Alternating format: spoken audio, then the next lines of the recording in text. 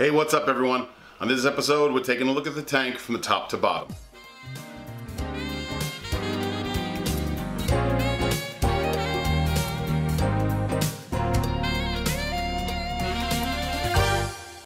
So I've received a lot of messages recently about uh, the tank, if I could do one from basically the lights to the sump. So I did do one in the past, but this is more of an updated version. So let's go to the tank and check out what makes up my system from lights to sump. Okay, to start the tour is uh, from the very top of the tank. These are the Ocean Revives Arctic T247s. Um, they're really a good working LED. Uh, I just, they've been above my tank for a little while now. I'd say about six months to um, to put a, a time frame on it. I do have a video on the review on these, which I'll also link below, um, along with the other links for any other video concerning the tank that you may uh, want to take a look at. As far as my opinion on these LEDs, they are very, very good. The spectrum is really great. They grow all the corals from the SPS and LPS and what have you in, that are that's in my tank. The tank itself is a 90 gallon reef ready tank.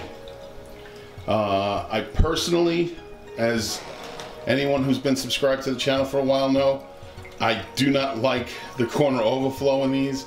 I would have much, uh, if I had the choice to do my own system, it would definitely be a ghost overflow in the system so this way I can utilize as much of the acreage and, and sand bed space that I could. Uh, other than that, the tank itself is, is a mixed reef. There is all kinds of SPS and LPS and a few softies mixed in. Check out one of the reef updates uh, and you can uh, see more about the livestock. One of the wave makers I have is the Jebao. Uh, this is the PP4, it's the older model. Uh, this has been working in my tank again. This is one of my older ones, about three years. So um, I have no complaints about the, how this has worked in my tank. Here's the controller for the Jebao power head, and I have it mounted to this piece of plastic that I had, and um, it allows for ease of basically controlling the power head from this side of the tank. When I'm ready for feed mode, I just hold it down and it goes into feed mode for a set period of time. On the other side, I have an MP10 that I won at last year's uh, frag swap in Williamsport, PA. And this has been going strong. The only thing I don't really care for about the pump itself is one, it does have some noise to it. As you can hear there and also that you can't adjust like you can adjust the other power heads by up and down and side to side so but as far as the pump itself I do love it so here is my VorTech controller and you can see I just have it laying out here but also I don't have the quiet drive I will be checking into that um, down the road but for right now it does its job really really well so now here it is. This is the sump. And it's basically the workhorse of my system. It's what keeps everything going uh, and thriving the way it is. It was designed by me and Billy Pipes and it was built by Billy Pipes. I will leave a, a link down in the description down below in case you want to get in touch with Billy and uh, get one made just like this one. The thing that I liked about it is the hands-on that I had um, in designing it and anything I wanted as far as you know the baffles where they where they are how many there are and how much water volume I wanted in the sump was all um, taken care of and is totally custom. So if you want one the way you want it then drop Billy a line and talk it over with him and get one made for yourself. In the first compartment is my protein skimmer. Now this is the SCA 302 protein skimmer made by SC Aquariums. It has been in service in my tank for probably around five or yeah, better part of five years now. It's been running 24 7 for the majority of that time and has never given me one bit of headache. Uh, just recently, the pump portion of the protein skimmer has been acting a little, you know, temperamental. So the quick fix to that is basically buy a backup uh, pump for it and uh, get ready for, you know, just to swap them out. So the protein skimmer itself is rated for a 180 gallon tank and it comes with a larger collection cup than I originally got when I first purchased it um, which basically doubled the size it also comes with a silencer that does what it says it should do and now this protein skimmer runs virtually silent uh, you don't hear it at all. And what I'll do actually is uh, let's go in a little closer and I'll actually let you hear the difference between uh, a protein skimmer without the silencer and a protein skimmer with the silencer. So as you can see right there, that's where the silencer sits. I'll move the protein skimmer actually so you can get a better look at it. And uh, now I'll just remove the hose that sits down on the bottom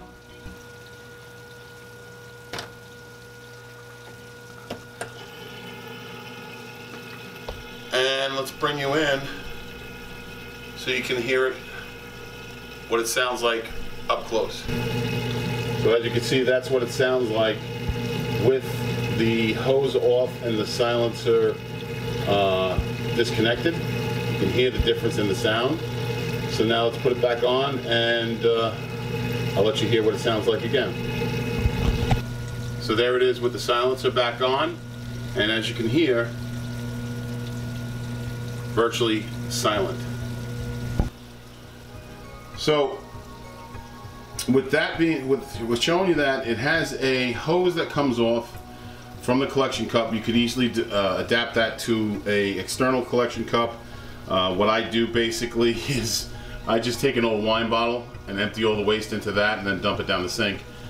It also is, I built this little stage um, I have also talked to Billy about building one at Aquarian, uh, but that may be a future upgrade. But right now, it's doing really well with the way it is, and it does collect a lot of dark, dark skimmate.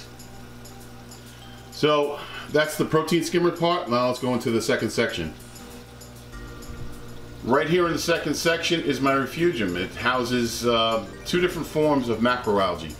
Uh, I, right there in the, the lighter of the two is the bubble caulerpa. Underneath is a ball of chaeto that has been growing and growing well. Um, it's all lit by basically just a shop drop light and a Cree LED light bulb. I'll have all the the specifications and links to that down below as well as well as anything that I have in my sump. I'll leave you some links so this way uh, if you want to pick one up you can.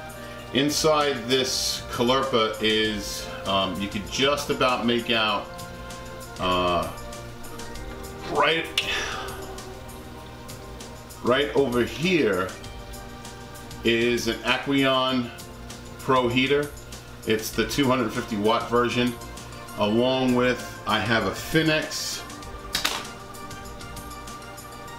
heater. You can see the controller right there and uh, it's mounted in the back. Both those heaters and combined uh, keep my tank between 77 and 78 degrees. Um, I always ran two heaters because in the event that one heater was to fail on me, I'd always have a backup. And I also keep heaters in, in stock so this way if that does happen, I have something to swap out for the one that went bad. In the final stage of my uh, sump, I have uh, an ATO system. This is a JBJ, as you can tell. Uh, what I do with the JBJ is it has dual uh, mechanical sensors.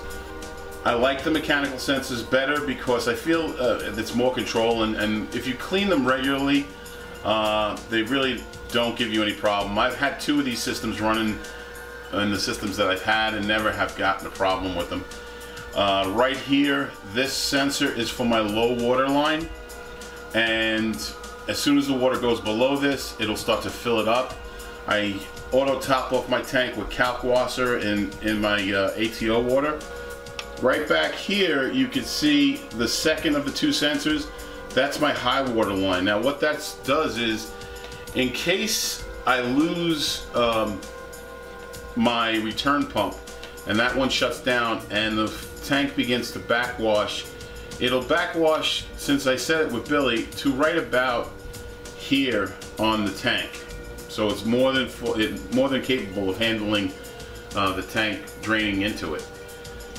But also what that does is that high water line will cut off the ATO pump and stop it from filling any water into the system.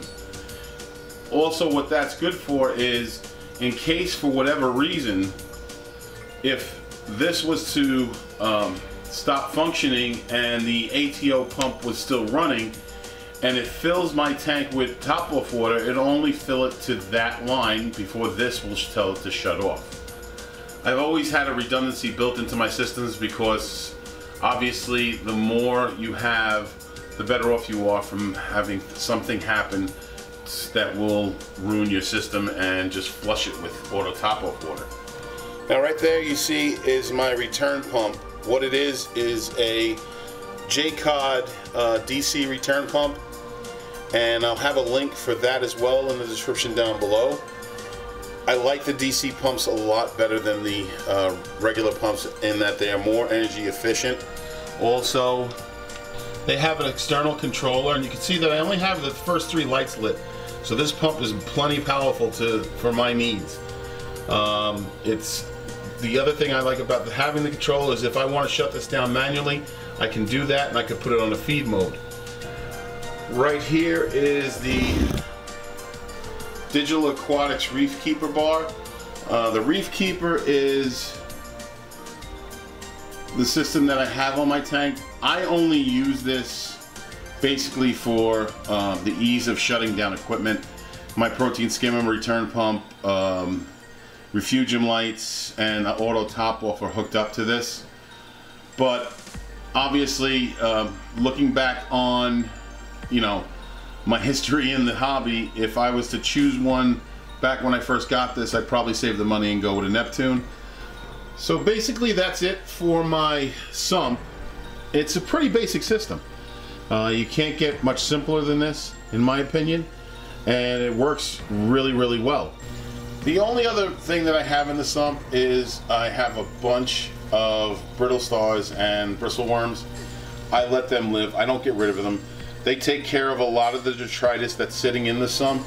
And uh, besides occasionally coming in and, and maybe vacuuming it out from time to time, they are the workhorses in my system.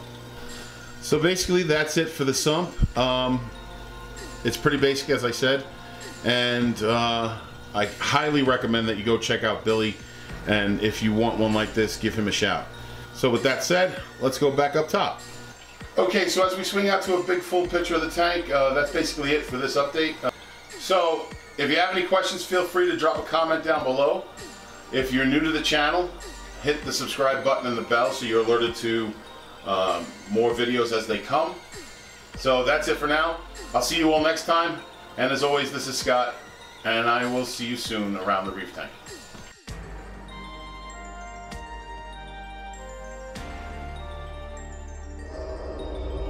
Thank you for watching this episode of Rosco's Reef with Scott. As always don't forget to like, comment, share and subscribe.